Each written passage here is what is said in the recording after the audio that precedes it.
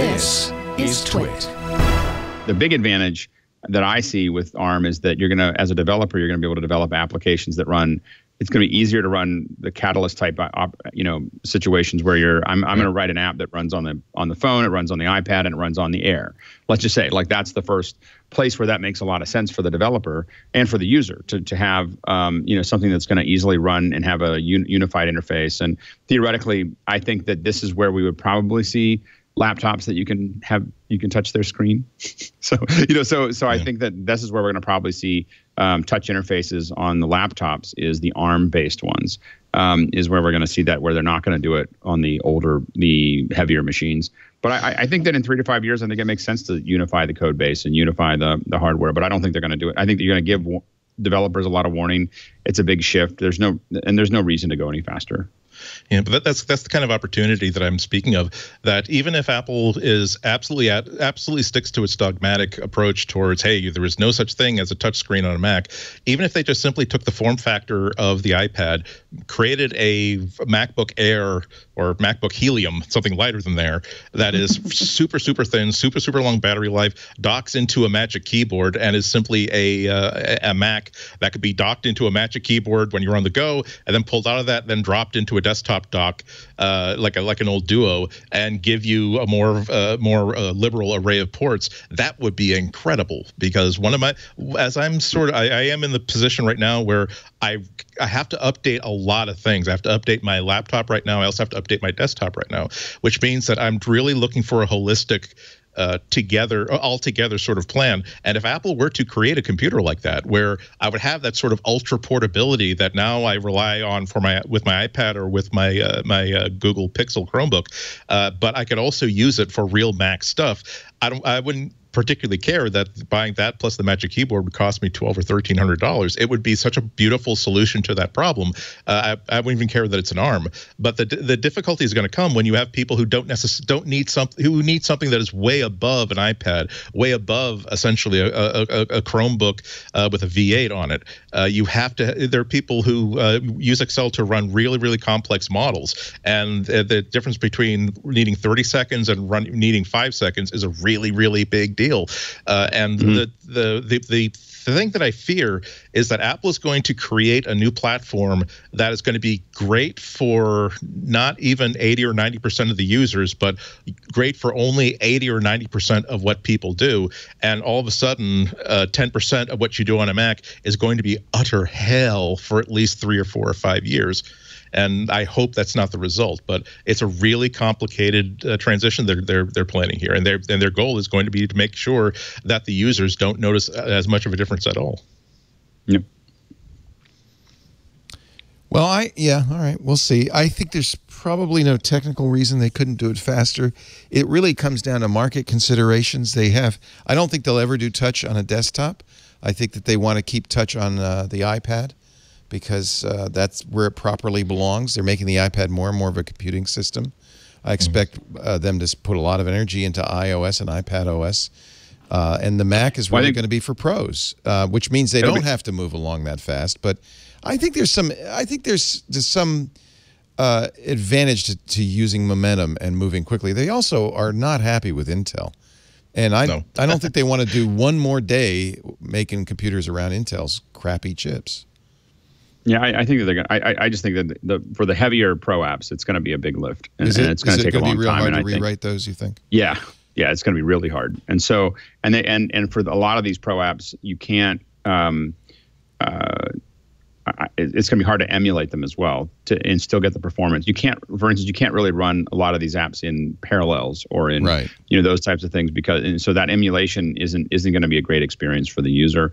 So I think that that's going to take a little bit of time, but I do think that um, over the next year of having an Air uh, able to do a lot of those things, I think makes sense. I'm also really interested in seeing AR. I'm interested in I'm, I mean, the thing that I'm most excited about, and I think it it could largely be something that I see what's possible, and I'm hoping that they do it, as opposed to knowing whether they're going to do it or not. And and that's right, really, right. I think, I think that USDZ is the most exciting thing that Apple's working on. I mean, it could change many, many things. Um, you know, we've been talking about a unified 3D platform to deliver assets for two decades at least.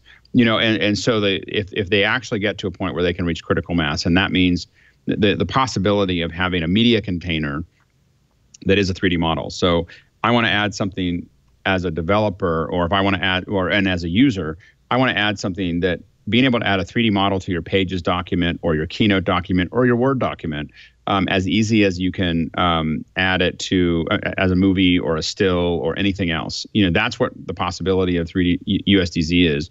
Is that it's the OS is taking taking all that conversion and all that display, and it was we saw bits of that in QuickDraw 3D a long time ago inside of QuickTime, but that all went away as QuickTime was gutted.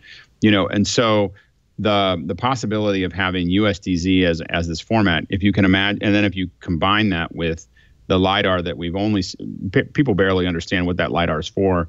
Um, so it doesn't make sense yet. So hopefully WWDC is going to make sense of that for us to some degree. Mm-hmm. Of um, you know all the things that you know being able to do scene not only scene capture but asset capture.